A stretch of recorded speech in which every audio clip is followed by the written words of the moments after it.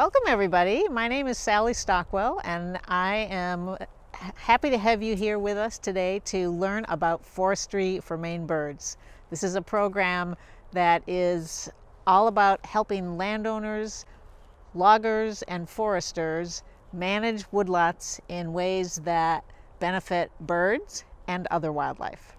So we're going to walk you through um, the basics of what Forestry for Maine Birds is and how you can take the information and apply it to your own woodland. And I have my wonderful partners here with me today, Amanda Mahaffey from the Forest Stewards Guild and Andy Schultz from the Maine Forest Service. And I think I neglected to say, I'm uh, Sally Stockwell, Director of Conservation at Maine Audubon. So this is a wonderful partnership program that we've been working on together for a number of years and we're going to create a series of mini videos that kind of walk you through the essence of a typical workshop. So what is forestry for Maine birds? Well, it's, uh, uh, it's designed to help breeding birds in Maine with create better habitat for breeding birds. Why are these birds important?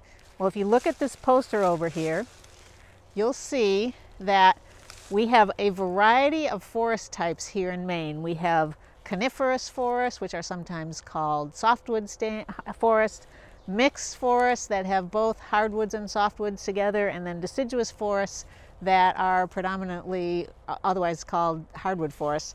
And each one of those forest types offers different places for birds to breed, to nest, to raise their young, and to hide from predators.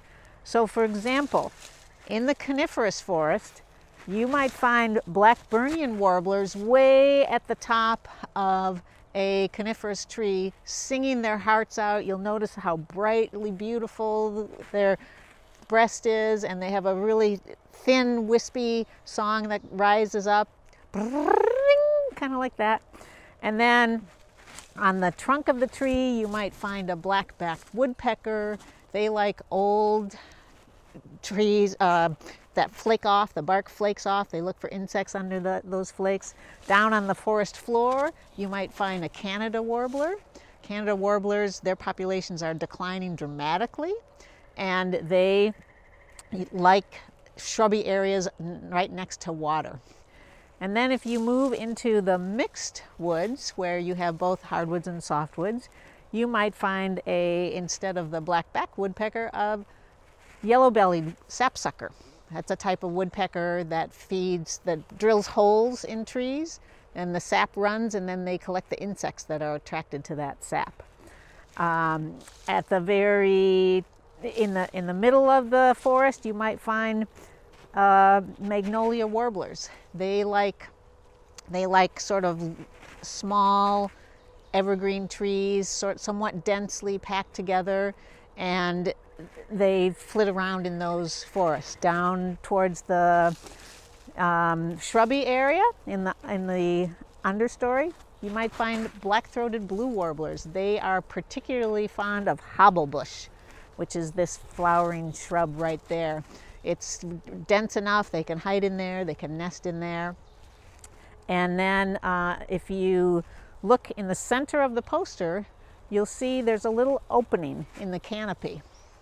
That opening or gap is a place where you have species like eastern wood peewees or chestnut-sided warblers that will gather in that gap. They, the peewees will perch on a tree at the edge of the gap and then fly out into the gap to feed on the insect right in that gap. Um, and then if you keep going over into the deciduous or hardwood forest, that's where we find species like wood thrush, hermit thrush. Uh, they, the, the wood thrush likes a really dense canopy over tall, dense canopy, pretty good fill in in the central part of the forest as well, and then they nest and breed in that, that middle story, but they often feed on the forest floor. They'll kick up the leaves on the forest floor and look for insects on that forest floor. Um, and then the very tops of the big oak trees, you often find scarlet tanagers. And in fact, we have one that's singing right up here behind us. It's not going to sing right now, of course, but it has been singing since we arrived. Maine is often referred to as the baby bird factory for the eastern United States. You can see why when you look at this map that National Audubon created of the last best forested acres in all up and down the eastern seaboard. And you'll notice right away that the largest green area occurs right here in Maine. So we have both an opportunity and a responsibility to create good breeding habitat for these different species because if there are no more baby birds, no matter what other threats these species face, their populations will continue to plummet. And we want to try to reverse that if we can. And we need your help. So please join us. Thanks. So, our forests here in Maine are extensive. Excuse me. They, we have over 17 million acres of forest land here in Maine. We have a wide variety of different types of forests, and, and that's why we attract so many birds back to breed in these forests. The other thing that our forests provide these birds are lots of insects. So there's amazing stories about how far away our breeding birds come from. On the far right of the poster, if you see the yellow lines, we have species like American woodcock that come here to breed in the summer but they live in the southern part of the US during the winter. They move slowly back up to Maine over the course of the spring before they arrive in time for the soil is is thawed and they can find earthworms and other insects in the ground that they feed on. Then we have things like the scarlet tanager, species like the scarlet tanager, that breeds down in um, that breeds here in Maine, but then spends the winter down in Central and South America. And my favorite, though, is the blackpoll warbler because blackpoll warblers winter down in South America. In the spring, they work their way slowly up through Central America, Mexico, the US, and up into Canada, where they will breed in the uh, Alaska, across the Canadian Arctic, and in far northern Maine. But then in the fall, all of those blackpoll warblers congregate in uh, on the coast of Maine. They feed extensively to gain a lot of weight before they then jump off the Atlantic and fly all the way nonstop down to their wintering areas. 88 hours almost 2,000 miles in one flight. It's truly amazing. So we have, we have this wealth of species that returns every year here in Maine, and yet many of these species are struggling. They, they are of conservation concern. Their populations have been declining over the last 40 years. In some cases, they've declined uh, 50, 60% of their populations. And we know from recent uh, analysis of the breeding bird survey data that we've lost about a quarter to a third of all of our birds compared to 40 years ago. And so we have this wonderful opportunity and responsibility here in Maine to try to create better habitat for these birds to come back and breed successfully. And we can do this along with other landowner and forester goals for how to manage their property. So that's what the Forestry for Maine Birds program is all about. And we have, um, I'm going to pause there and then invite you back for the next step of our video series where Amanda is going to talk about what specific features in the forest these birds are looking for and how you can try to identify them yourself.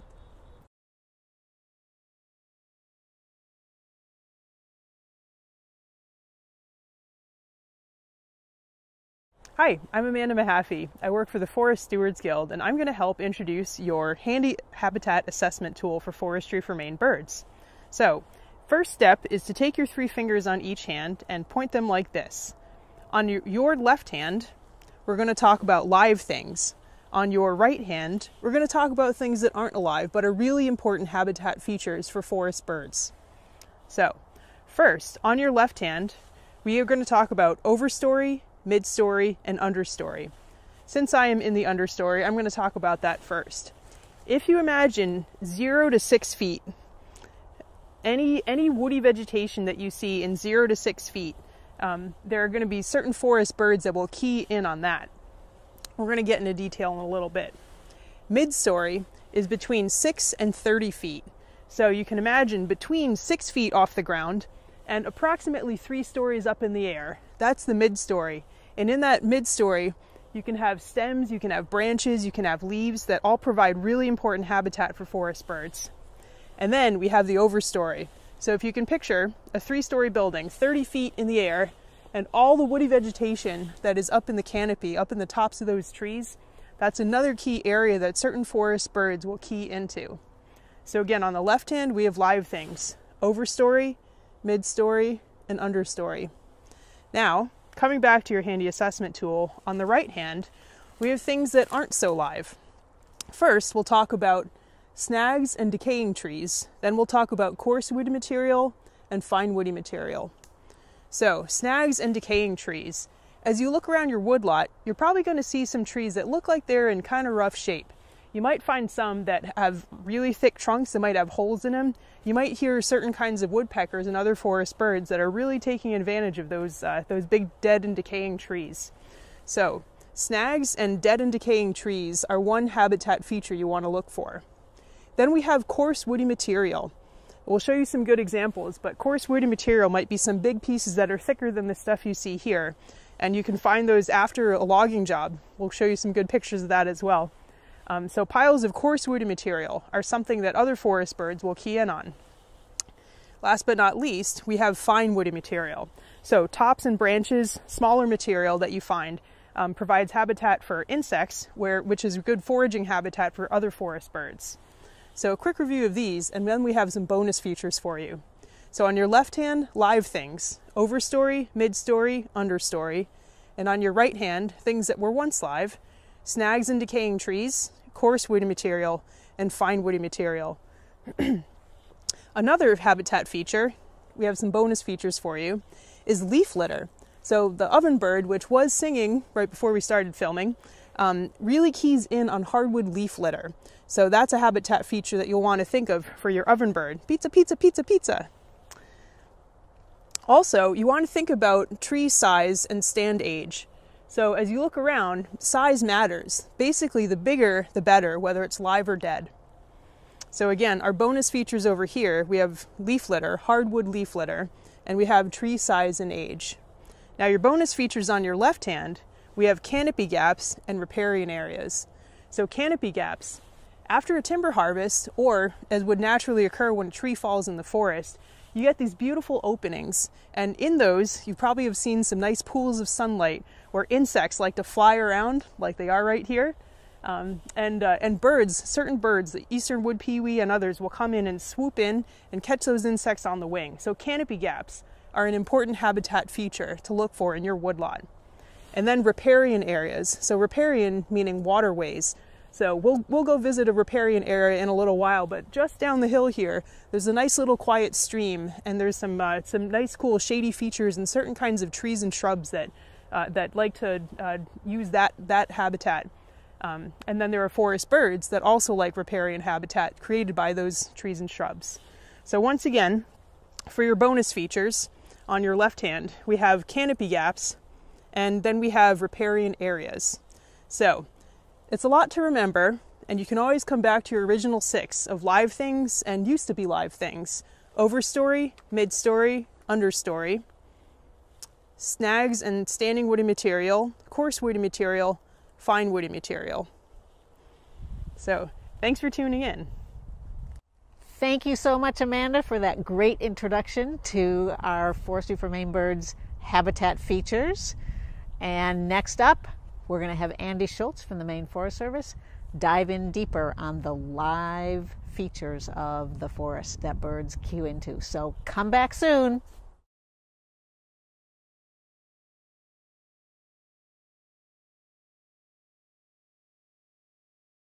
Hi folks, my name is Andy Schultz. I'm with the Maine Forest Service and I'm going to focus in on the left-hand elements, the so-called live elements uh, that uh, Amanda mentioned before. So we're standing here in a mixed wood stand, uh, mixed meaning there are softwood trees uh, and hardwood.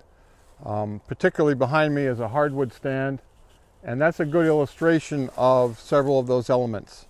Um, let me first mention though, starting from the bottom up with the left hand, and I'm going to go like this. That's the riparian area, that's water. Um, we're standing on a hill, so you won't see water here, but water is important. Uh, any number of bird species need the water, they need the vegetation that's around the water, the usually shady aspects of that. And by the way, that shade that uh, protects the temperature is also good for brook trout and other fish which illustrates that when you're managing your forest for birds, you're also managing it for other species as well. So this is really one way to, uh, to work with wildlife in general by working with certain birds in particular. So moving up from the riparian area, we have the understory, which as you recall is the, the first six feet from the ground up.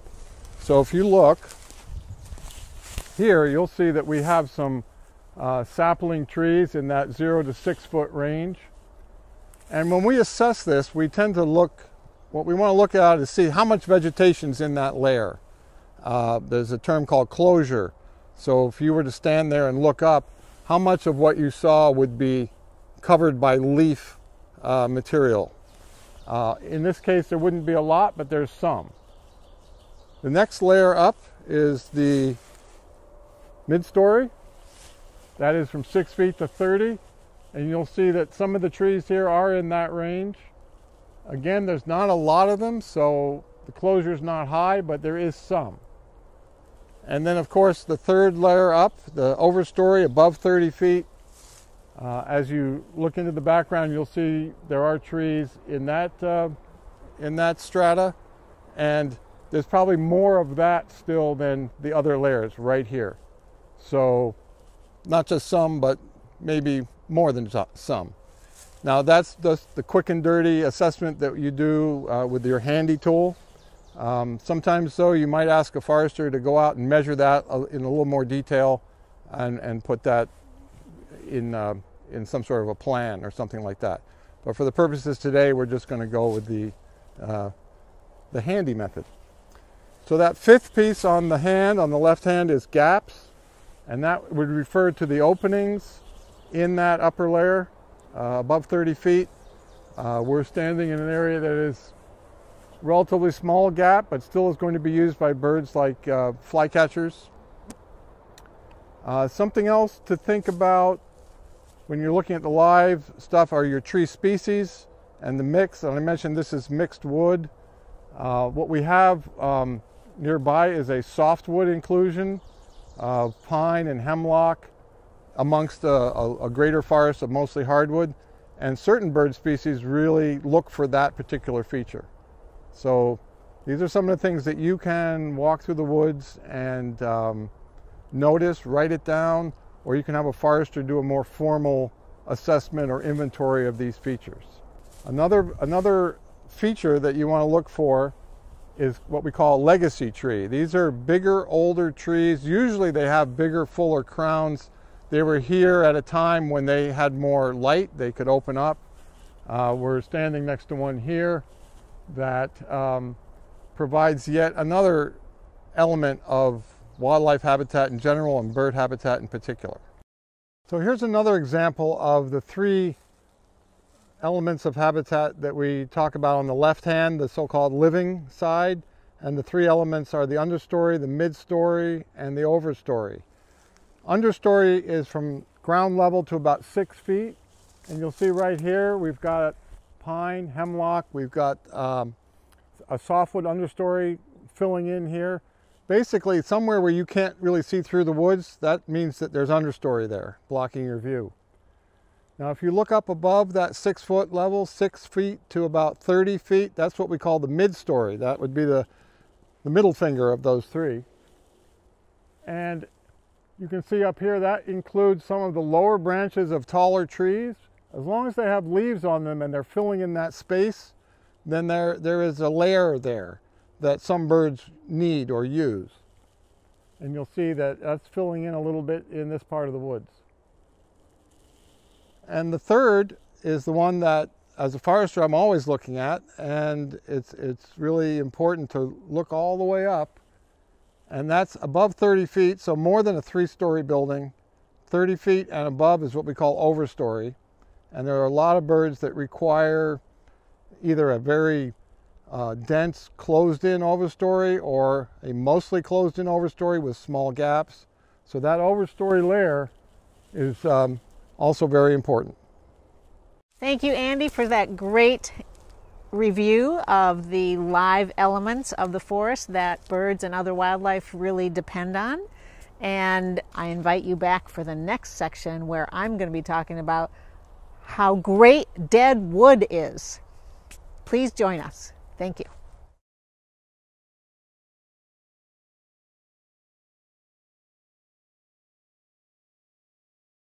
So, welcome back, folks. You may remember now we get to talk about the importance of dead things in the forest. And I'm going to start by looking at this wonderful example of a large snag.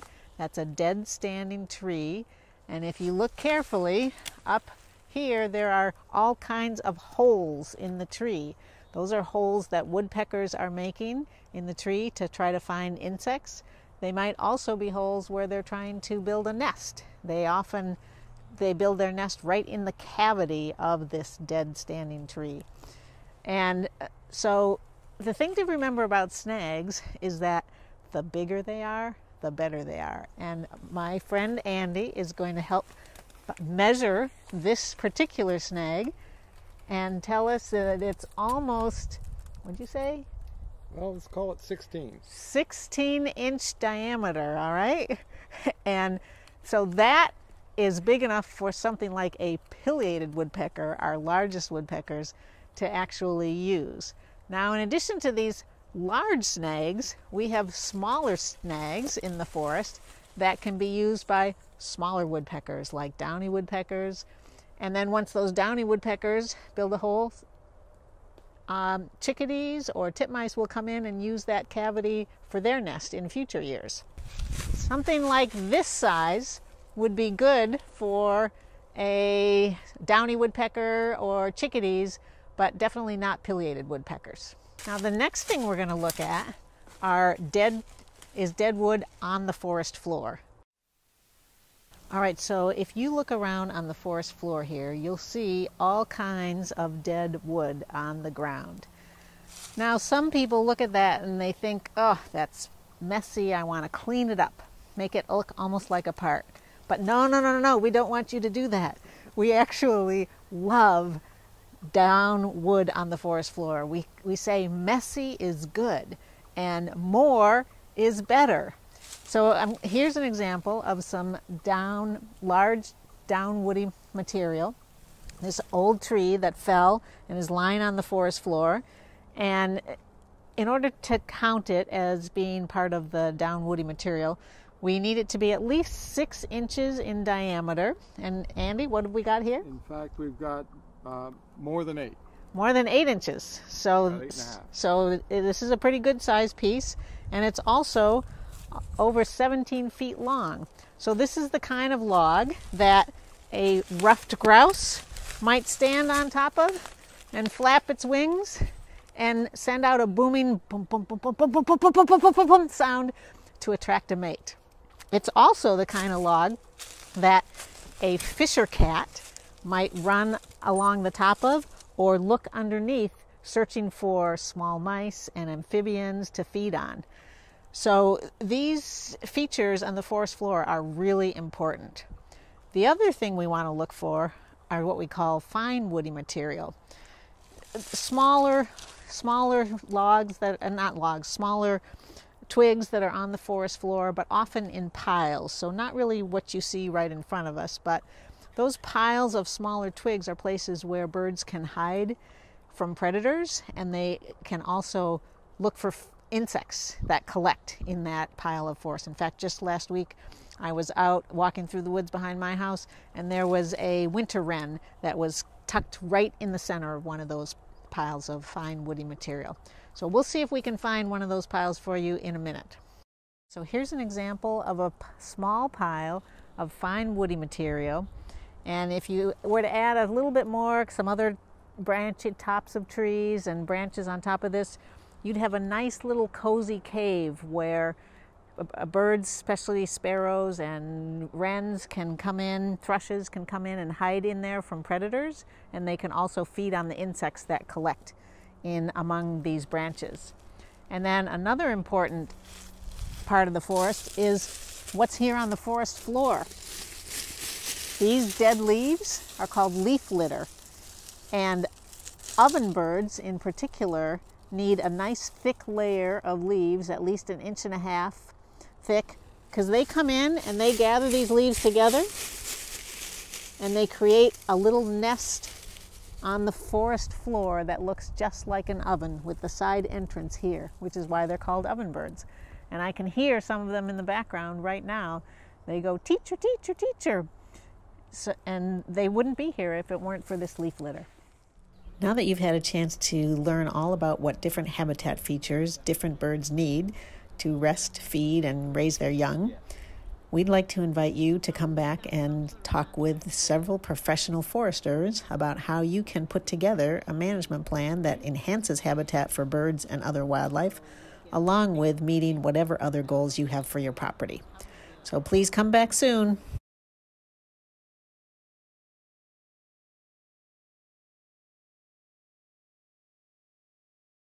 Welcome back, everybody. Now we've come to the final series, final uh, video of our series, where we're going to put everything together. You've learned a lot about what habitat feature birds cue into in the forest, why they're important, which birds use what part of the forest. And now we're going to talk to Amanda about how do you take that information and put it together into a management plan. So, Amanda, can you tell us a little bit about how that would happen? I'd be happy to do that, Sally. So, a really good place to start is with the Forestry for Maine Birds guidebook. This uh, nice thick book here is a guidebook for foresters managing woodlots with birds in mind. But if you're a really active landowner, you also might want to get your hands on a copy of it because there's some really great information here about all the things that we've talked about today. The first thing I'd like to bring your attention to in terms of management plans is this, is this handy trail map. I would do air quotes, but I can't right now. Um, handy trail map, um, which is on page 76 and 77 on managing forests with birds in mind. So, how do you get from a handy habitat assessment to a forest management plan? I'll read you the basic steps and uh, we'll talk through it a little bit. First, we want to know for you as a landowner, what are your goals and objectives? So that's where it starts. What do you care about on your land? Next, we want to assess the current habitat conditions. And again, your handy habitat assessment is a good place to start. Next, we want to think about what are the light what are the goals and objectives you have in light of what you actually have going on in the woods. And then we would talk about silvicultural systems that can help uh, that can help in you achieve your goals on your land. Silviculture is the art and science of forest management. There's a little bit of art and a little bit of science, and when you put it together, you can have forest bird habitat that is enhanced by timber harvesting and special treatments that happen on the ground. So, silvicultural systems. And that goes hand in hand with the forest management plans. So, again, we start with landowner goals and objectives and then we have to understand what's going on on the ground. What does it mean for forest bird habitat? Then we can make some goals and decisions and decide what silvicultural systems will help us achieve those goals. And that goes hand in hand with forest management planning. So, to give you a little more detail on how we get from our handy habitat assessment um, to a forest management plan, all these things that we were talking about earlier with overstory, midstory, understory, live features, not live features, those are similar to what a forester would be uh, would be assessing in a timber inventory. Um, and in fact, all those handy assessments are paired with science. So it, in in the Forestry for Maine Birds Forester's Guidebook and also online at the Maine Audubon website, you can find a copy of the data form that pairs this. So just as a quick example, in terms of overstory, instead of just thinking, hmm, is there a lot, some, or not much, then we'd give you uh, we'd give you a little bit more detail about what are the tree species that are there. Um, are, is it more of a hardwood or softwood mix? Where's the canopy height? Um, and then take notes about the canopy gaps and other features. There's some really good uh, habitat assessment tools and, and a way to capture the data um, on this form. And once you've run your handy habitat assessment or your detailed data assessment a number of times, it goes really quickly. So it's something as a forester that you can add on to um, pretty easily to what you're already doing, the, the information you're already, already collecting in each stand. Thanks again to Amanda for setting the stage for what's involved in putting together a management plan. And now we're going to hear from two experts on the topic who are familiar with working with landowners on developing those management plans. First, we're going to hear from Andy Schultz with the Maine Forest Service, who is a land, landowner outreach forester, and he also works closely with district foresters for the Maine Forest Service. So, Andy, can you please tell us what do you do and what do district foresters do and how do you help landowners develop management plans for their woods? Okay. Well, uh, Sally, as you mentioned, I'm uh, my name's Andy Schultz. I'm the landowner, the landowner outreach forester for the Maine Forest Service, and that's a statewide position. I mostly talk to folks on the phone or by email about their woodlots and um, try to get them on the path to help them take their next step which very often may be getting that forest management plan done. Uh, in that case, we usually refer to a group of consulting foresters, and more about that in a second. But I do want to mention one more tool here, and that's this book, which is the Forest Trees of Maine. Essentially, um, if you want to know your species, your tree species, and more about where to find them, and of course, that is key to uh, determining habitat as well. Uh, that book is available from the Maine Forest Service or by calling your local district forester. So we have 10 district foresters here in the state of Maine uh, covering the entire state. You can look up your district forester by going to maineforestservice.gov. Uh, there's a Find Your District Forester page, uh, or you can email to forestinfo at maine.gov and just let people know where you are or where your woodlot is. And uh, people like me will respond and tell you who your district forester is.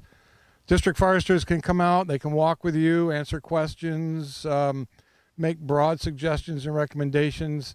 They will not perform the function of writing a forest management plan or overseeing a timber harvest. Again, as I mentioned, for that, they're going to refer you to um, a private consulting forester we do keep a list of those on our website. We refer to them as stewardship foresters, and they're there to provide those services to uh, private landowners, including um, getting your woodlot uh, in shape for different wildlife habitat and different species. We now have a former district forester and currently a private consulting forester with us to talk a little bit about the role that private consulting foresters can play and how they can help you manage your woodlot for the values that you care about. Thank you. Thanks, Paul Larrabee. Thank you, Paul Larrabee, uh, consulting forester. Um, my main uh, job is to meet with landowners and really try to get to understand their objectives for their land. Um, that often involves walks in the woods, um, long conversations, usually with coffee or tea, usually, um, about what their main goals are for their land. Um, and that varies, um, but the one uniform theme is, um, you know, recreation, wildlife, aesthetics, and timber management, and also um, the next generation. What's going to happen to the land um, uh, for the next generation? Um, so after we discuss all of these topics, and usually it's in great detail, I worked to develop a, a long-term plan for that land to meet all of those objectives. Um, and that, and that includes um, doing inventories, whether it be wildlife, you know, uh, understanding what types of wildlife are using the lot at that time, what type of recreation activities are happening on the lot, um, an inventory of the timber, an inventory of the shrubs. Um, all of that inventory is conducted and then presented to the landowner with some options. Now, ultimately, the landowner, the landowner guides those decisions based on their objectives. What a forester does is provide the information and provide guidance for that landowner. Um, and so usually that that all gets uh, compiled into a forest management plan, um, and that management plan is ad- adaptive. It's once it's written doesn't mean that it's written in stone. Um, the landowner can modify that management plan uh, based on market conditions, weather conditions, um, insect conditions. Um, I try to encourage my landowners to reference that management plan often and make notes. Take notes in the management plan. And if things need to be modified in that management plan, don't be afraid to reach out to your consultant forester. When I was a district forester, um, I would uh, meet with landowners and refer them to consulting foresters. And I remember the last thing I'd always tell a landowner was um, make sure you like your forester. It makes sense, right? Because it's supposed to be a long term relationship. It's not, when a landowner works with a forester, that forester may work for multiple generations on that same land. And, and really, you need to have a good working relationship and you need to get along. So meet with meet with multiple consultants and work with somebody that you like and that you want to work with well into the future. Thanks, Paul. So, if I'm a landowner, it sounds like the best thing to do is first contact the Maine Forest Service and talk to Andy, and then he can refer me to a district, my local district forester, who can come out on my land, walk it with me, maybe do a quick habitat assessment, talk about what my goals are for managing that land. Maybe I don't really know what my goals are, so the forester can help me think through that and help prioritize whether it's wildlife or timber or aesthetics or recreation. All of the above. Or all of the above. And then after I meet with that district forester, if I decide that I, I want to put together a management plan, then I can go to the list of stewardship foresters bring a couple out, have them come walk the land with me so I can decide which one I click with. And then, then what happens? Then, if I want to move forward with creating that management plan, how do I do that? Okay, uh, good questions. And uh, very often the next step involves signing up for a program of some sort. Uh, at Maine Forest Service, we have a, a, an assistance program that we call the Woodswise Incentives Program and that can provide some financial assistance for getting a certain kind of forest management plan. Um, more than a bare bones plan, this would be a plan that comprehensively looks at wildlife habitat, forest health, timber value, uh, water quality, and the water features on the land, and, and a host of other things. And um, as again I mentioned, there'd be some reimbursement for that. So it's what we used to call cost share uh, program. Uh, there is also another uh, organization called the Natural Resources Conservation Service, which is a federal um, branch of the USDA. Uh, it's a federal agency. They have offices around the state and they can provide an array of financial and technical assistance as well uh, through a program called the Environmental Quality Incentives Program, which can also help defray the cost of forest management plans and beyond that, it can help with the cost of certain practices that have been recommended in the plan. So when you talk about what happens next, Sally, typically the plan is not the end of the story by any means. Um, whether you get it through a program or simply, you know, pay your forester to write one for you, um, implementing the recommendations is really key. And if your your desires uh, have to do with wildlife habitat, creating those gaps making sure that your um, large woody material remains, um, that you don't get too involved in cleaning up the forest. All of these things um, are part of what hopefully follows the plan and the recommendations. And then, furthermore, you want to consider that this is not uh, a one time deal. Um, it's kind of like uh, get a plan, follow the plan, review the plan, amend the plan, update the plan, and, and continue on and on. And typically you would update that plan at least every 10 years or so? Uh, 10 years is a good interval. Um, most of the programs that I mentioned, Woodswise and, and the environmental, environmental quality uh, plans, get written for 10 year periods. That also coincides with a few other programs, uh, such as the tree growth tax law. Um, the point about plans is they really should be living documents, and there could be many things that happen within that 10 years that really makes it make sense to revisit.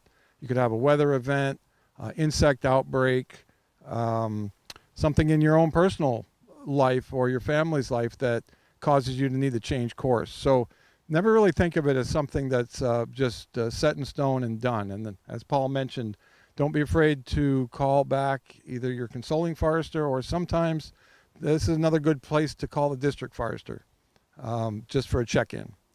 So yeah, it's a continuing process. What we really at Maine Forest Service, our one of our goals is to get woodland owners really engaged with their woods. Um, so this involves working with professionals, it involves the planning, but as much as anything, it just involves getting out there, walking around, enjoying it, learning from it, and um, hopefully passing it on to your family members in the future.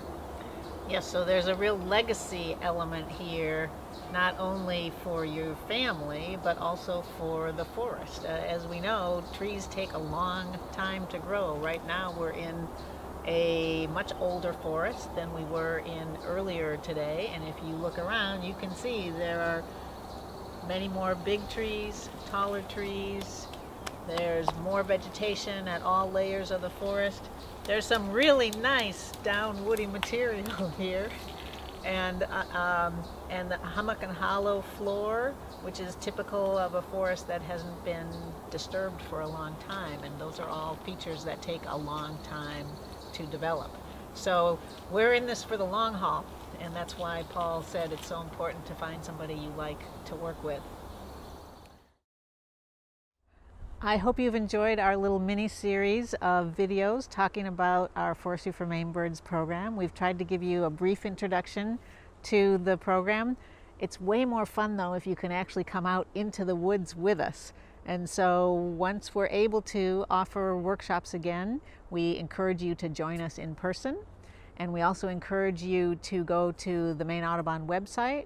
Under Forestry for Maine Birds, you can find all kinds of additional resources there. And of course, remember to check in with the Maine Forest Service for help in contacting a district forester or a consulting forester or the Maine Tree Farm, Maine Tree Farm to enter your woodlot into their certification program.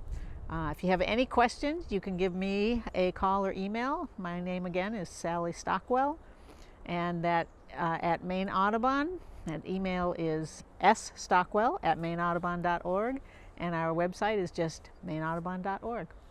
So please come join us. Thank you. And remember, messy is good, bigger is better, more is better, and you have an important role to play in helping keep this baby bird factory going strong long into the future. Thanks for all you do.